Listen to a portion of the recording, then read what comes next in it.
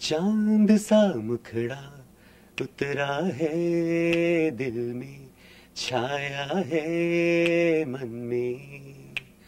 दूर से चल के बुझाने मेरी प्यास आया है, मेरे पास मेरा प्यार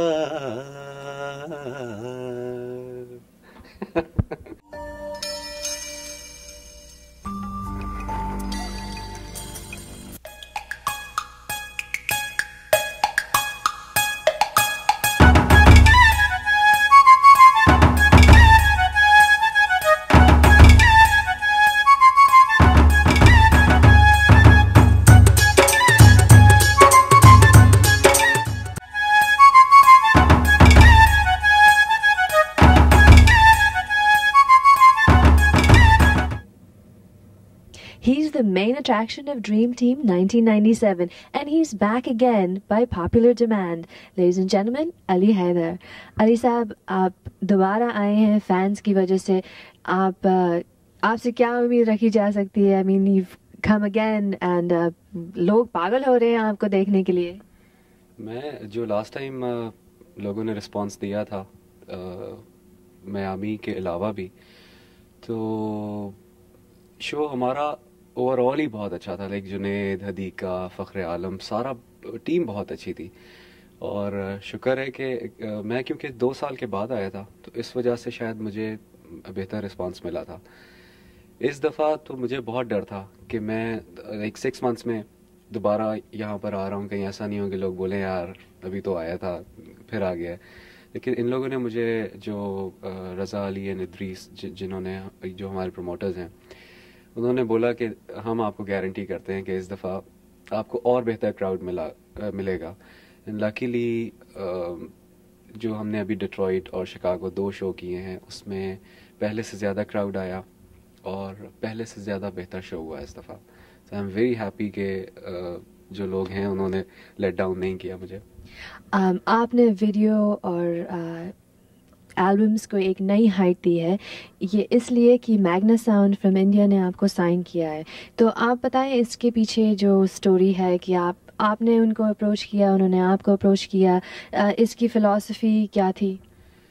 अ, मेरे पहले एल्बम्स जो हैं वो भी अ, इंडिया में एच एम वी रिलीज़ करता रहा है। लेकिन अ, इतने ज़्यादा पब्लिसिटी के साथ कभी मेरा एल्बम इंडिया में रिलीज़ नहीं हुआ।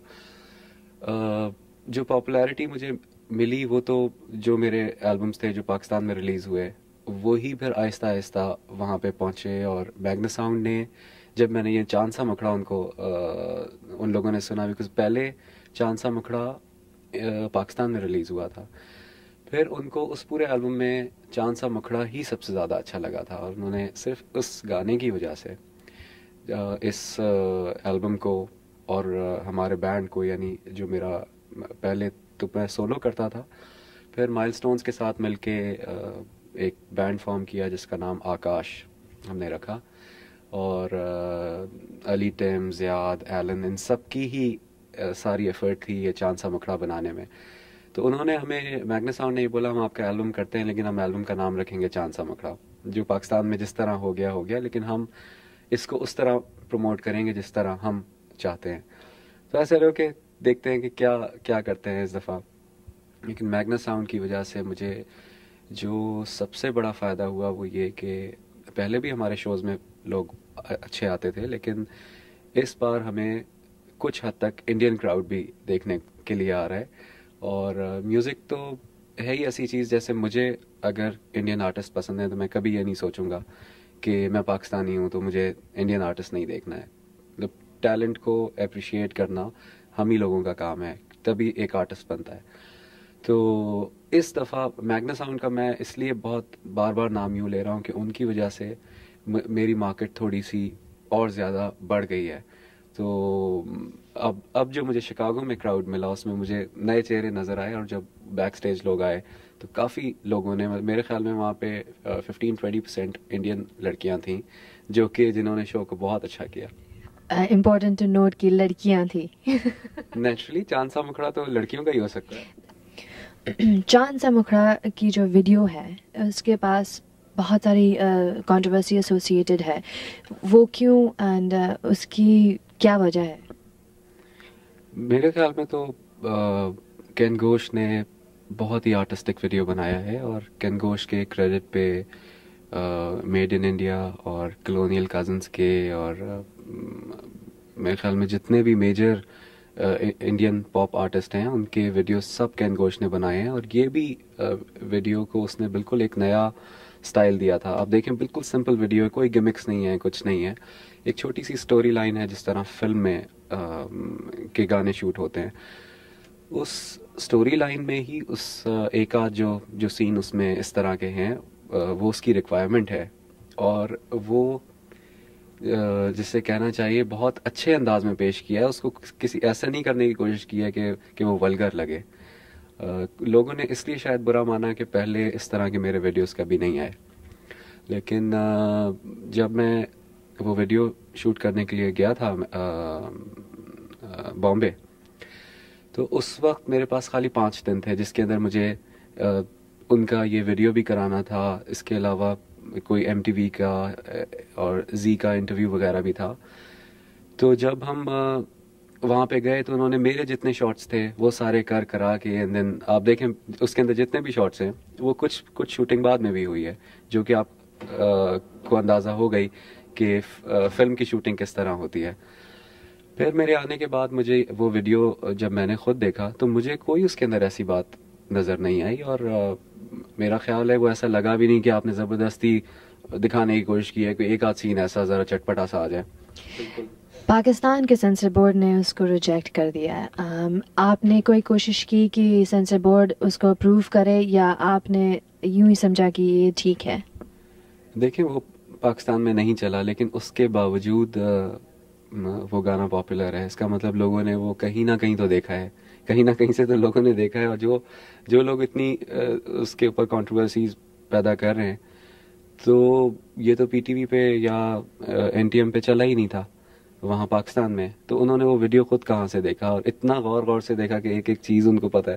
दैट मीन्स कि उसमें वीडियो अच्छा है गाना अच्छा है लोग सिर्फ़ बस आ, बात से बात निकलती है ना वो जितने मुँह उतनी बातें। तो वही हो रहा है और मुझे कहीं उस वीडियो में या जो जो अगर वो बुरा होता वीडियो या वो गाना बुरा होता तो मेरा ख्याल है कॉन्सर्ट्स पे मुझे दो दो दफ़ा गाना पड़ता है वो गाना।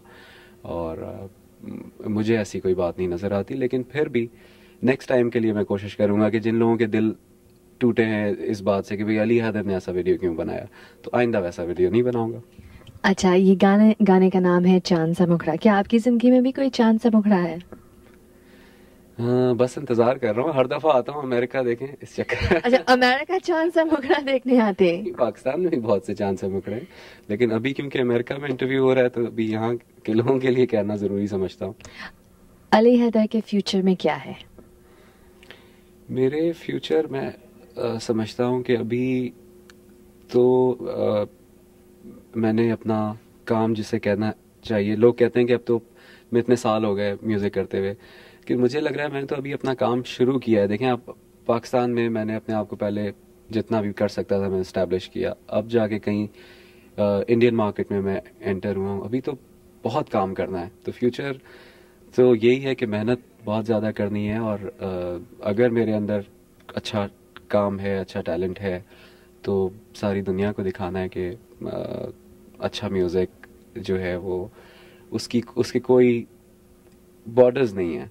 मतलब आप जहाँ भी जाएँगे तो आपको लोग एक्सेप्ट कर सकते हैं अगर आपका म्यूज़िक आपका काम अगर अच्छा है तो। मैं आजकल उसी काम पे लगा आने वाला एल्बम आने वाला एल्बम अभी तो मैंने काम शुरू किया है और इस बार ये होगा कि ये वाला अगले जो मेरे दो एल्बम्स हैं वो मैंने ऑलरेडी मैग्ना साउंड को दिए हुए हैं तो उसकी प्रोडक्शन सारी मैग्ना साउंड इंडिया करेगा और उसके वीडियोस भी इन वही लोग बनाएँगे। तो कोशिश तो यही है कि अब क्योंकि ये इंटरनेशनली लॉन्च होगा तो जितना बेहतर से बेहतर हो सके। लेकिन होगा वो, जो मेरा स्टाइल है वो लवी रवी किस्म के गाने और वो वो स्टाइल तो वही रहेगा, लेकिन थोड़ा सा मैं अपने म्यूज़िक को थोड़ा अपग्रेड करना चाहता हूँ। ज़रा सा गिटार ओरिएंटेड भी है और, लेकिन जो जो फोक एक मैं टच अभी अपने म्यूज़िक में लेकर आया हूँ, जिस तरह चाँद सा मकड़ा है या दिल वाले वाला एक गाना लोगों को अच्छा लगा है वो मैं वो स्टाइल बरकरार रखना चाहता हूँ। एनी चांसेस कि आप पाकिस्तान से इंडिया माइग्रेट हो जाए? नहीं मैंने अभी थोड़ी देर पहले ही बताया कि मतलब मैं कहीं भी बैठा हूँ तो मैं ये अब अब फील नहीं करता कि मैं ये करूँगा तो पाकिस्तानी बुरा मान जाएँगे ये करूँगा तो इंडियंस खुश हो जाएँगे। ऐसा नहीं है। मैं चाहता हूँ कि लोग आप देखें मिसाल नुसरत फ़तेह अली साहब की ठीक है, उन्होंने काम इतना अच्छा किया कि वो पाकिस्तान, इंडिया और फलां लोगों ने ये बात करना छोड़ दी। लोगों ने ये कहा कि खान साहब का सिर्फ़ काम की बात करते थे। तो आप काम इतना अच्छा करें कि आपको कहीं माइग्रेट करने की ज़रूरत ही नहीं पड़े। आपको हर कोई ये ये समझे कि ये आपका ये आपका बंदा है। तो इसलिए माइग्रेट होने का तो खैर अभी मैं नहीं सोच रहा हूँ। मैं ये सोच रहा हूँ कि काम इतना अच्छा करूँ कि हर किसी को लगे कि ये हमारा आदमी है। आपके फैंस बेसब्री से इंतज़ार कर रहे हैं मायामी और ऑरलैंडो में। उनके उनको क्या कहेंगे आप? मयामी और ऑरलैंडो वालों को यही कहूँगा कि लास्ट टाइम शो बहुत ज़बरदस्त हुआ था। और आ, मुझे अभी तक हालाँकि शिकागो और डिट्रॉइट हमने बहुत अच्छा किया है। अभी सैटरडे को न्यू जर्सी में भी शो कर रहे हैं। लेकिन मुझे यही डर है कि कि पता नहीं लोग इतनी जल्दी मुझे वही रिस्पांस देंगे या नहीं। तो बस उम्मीद करता हूँ इस दफ़ा कुछ नया स्टफ़ भी लेकर आए हैं हम और एक दो नई चीज़ें भी कुछ कर रहे हैं शो के अंदर। और फिर साथ में मज़े की बात यह कि सजाद अली भी हैं और आवाज़ ग्रुप भी है।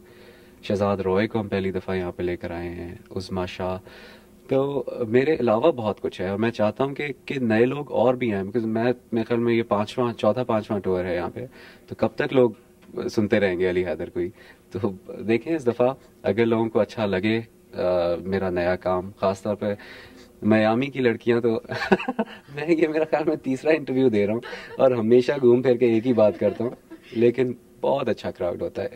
एक तो आ, दो तरीके के क्राउड होते हैं। एक होता है बहुत वाइल्ड होता है, जिस तरह शिकागो है। शिकागो में बहुत वाइल्ड क्राउड होता है। आपको बस ये होता है कि इस तरह कॉन्सर्ट पूरा करें एंड गो बैक होम मतलब आराम से बिकॉज़ शो बहुत अच्छा होता है, लेकिन बहुत वाइल्ड होता है। लेकिन मयामी इस तरह का है कि वाइल्ड भी होता है, लेकिन डिसेंट भी होता है। मतलब आपको स्टेज से जाने का दिल नहीं चाहता।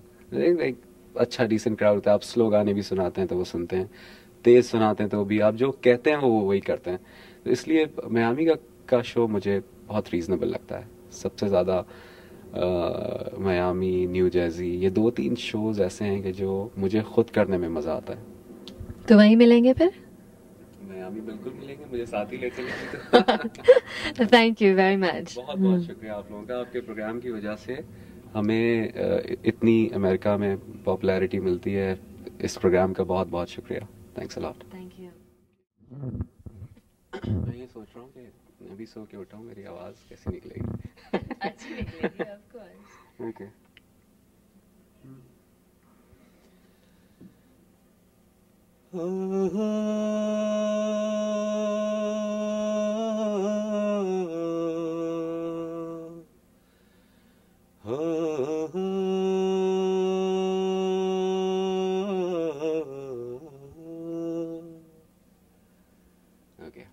अब यहाँ से करेंगे। ये रिकॉर्ड तो नहीं कर रहे थे ना आप? ये मैं अपना गला सही करने की कोशिश कर रहा हूँ।